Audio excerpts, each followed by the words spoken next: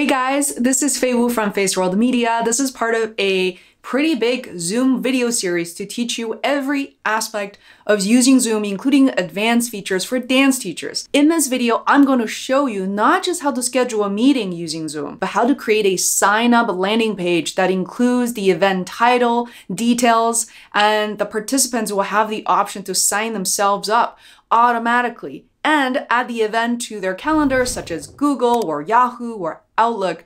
The process is completely streamlined. You can add your logo, you can add a banner as well. So let's get started.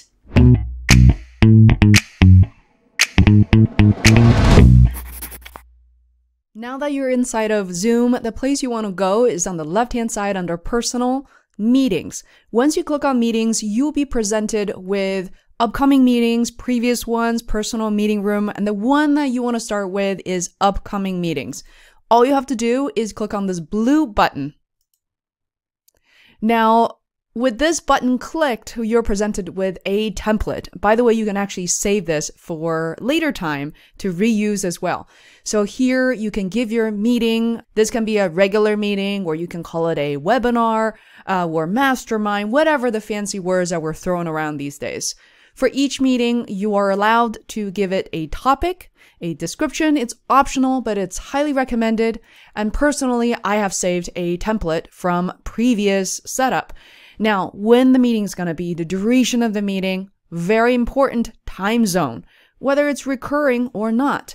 When you start a first brainstorming session introducing your ideas, your mastermind, I would say start with one and then move on to recurring meetings, which will make it very convenient, right? If you want to meet with your group, say every other week, once a month, that's going to be really convenient to set up. Next is registration. For most meetings, in my opinion, registration is required, especially if you're speaking to a larger audience as opposed to, um, you know, just family and friends. Meeting ID is generated automatically. I prefer that just in case, you know, you're using your personal meeting ID for other purposes. Now I want to show you a template of an actual meeting that's being filled out. I'm very proud to share this example. I absolutely love the business started by Bear Alexander and Cosmo Bono. They are renowned musicians and their consulting firm is based in New York City.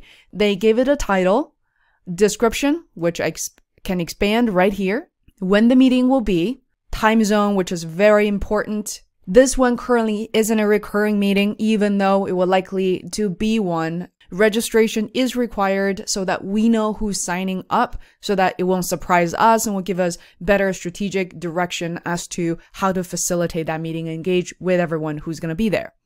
Meeting password is not required. However, you want to give it like that actual layer of security. You can certainly give it a meeting password. Video. This is interesting. Real quick if this type of meeting is not, let's say, you having a lesson with your regular students, you are familiar with these participants and attendees, I would recommend to start this meeting with video off, uh, both for you and for the participants. However, if this is a Zumba class, you know, it's not a big deal. Uh, everybody's smiling, dancing away, so it's okay to have video on in those cases, but not really in a professional setting, I would say. Now for audio, I tend to turn on both telephone and computer audio. Meeting options, do you want to enable people to join before the host? Sometimes I think that's a good idea, especially for it, people running masterminds for a while, people are familiar with each other, they will talk to each other. Otherwise, if this is the first time ever for you to host something, I would say wait until the host joins to enable the meeting to start. You can also mute participants upon entry. You can enable waiting room, which means um, people will see a waiting room sign before you're officially signed in. Alternative hosts you can add, however, I believe that uh, this is only allowed if you have a certain package within Zoom, which I'm not going to go into details here. Now, once everything is set up, this is what you're going to see. You save the meeting. You can scroll down just to make sure, and you can also edit this meeting again now, as you scroll down, you see another button right here, which as I mentioned earlier, you can save the meeting as a template so that if you're going to create multiple webinars or virtual sessions, you can just reuse the template. Last but not least, you have three very important tabs. Number one, registration. You can manage attendees as soon as somebody signs up, uh, registration options, automatically approve or you want to manually approve people, these options are here. Now, next is email settings. You can uh, confirm the email contact for this event, for this activity. And you can also send a preview to yourself so that you get to see what people receive. Third is branding. Now, branding and basically customization within this area of Zoom is very limited. It's better than nothing at all. But I tend to tell my clients at least that to give them a heads up, the modification in terms of aligning the text, getting visuals, adding videos, those things do not exist. The only thing that you do have control over are two things. One is the banner and their specific size, recommended dimensions, and the other is logo. So logo is pretty straightforward. However, in this case, if your logo is like a rectangle, if your logo is a rectangle that you need to basically manipulate it into a square to fit. How do you go about doing that? Well, I have an answer. The answer is canva.com. There is a free version. We're using the pro version because we use it every single day. And um, what you do is you simply grab the size to remind us. For example, the suggested dimension for the logo is 200 by 200 pixels. And all you have to do, choose your own custom dimensions, 200 by 200 create your design, which I've already done so.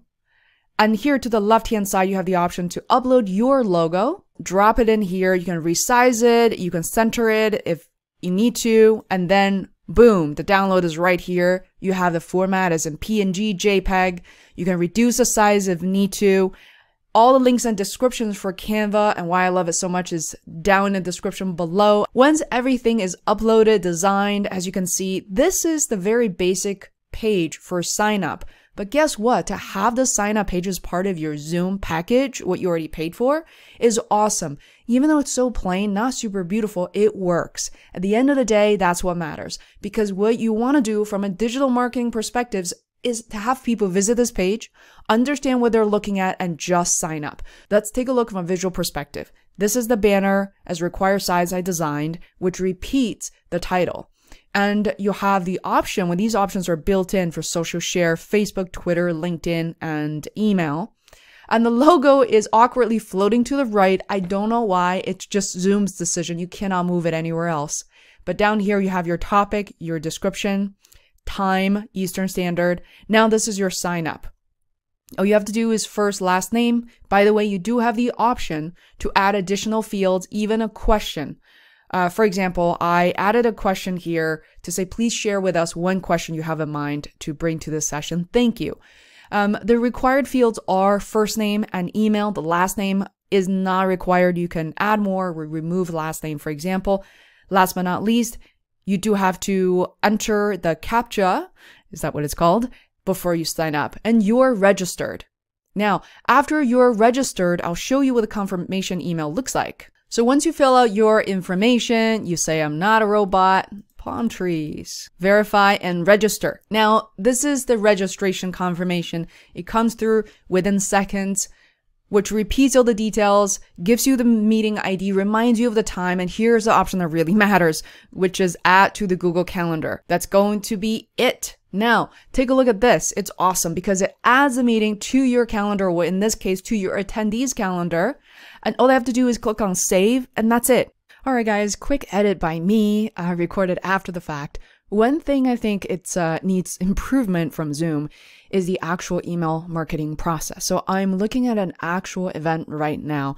You'll notice that under registration of a meeting invite, you have manage attendees. Now, I'm not going to click on view because I don't want to expose any personal information. I will tell you, however, that page is quite limited. It contains two action plans. One is to cancel the registration for a particular person or to resend the confirmation.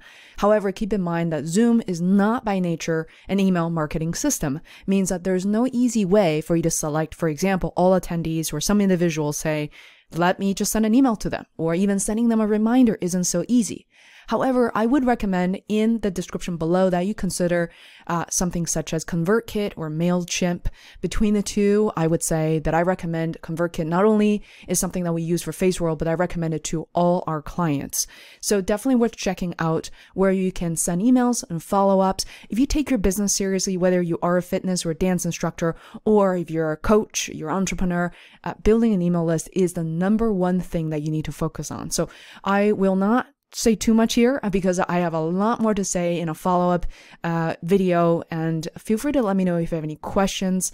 Uh, definitely happy to answer the basics and uh, help you get started. So, uh, with that said, once you look at view, it does contain all the registrations, um, email addresses, which we can easily and awkwardly copy, just like the way I'm demonstrating on my screen right now. Copy that and you can easily drop it inside of a Google spreadsheet or an Excel spreadsheet. So hope you find this helpful. Please consider subscribing. We have created a series of really helpful Zoom videos to help you create these virtual mastermind and bring your business online finally. I hope to see you in the next video. Hit the bell button so you're guaranteed to be notified when we're back.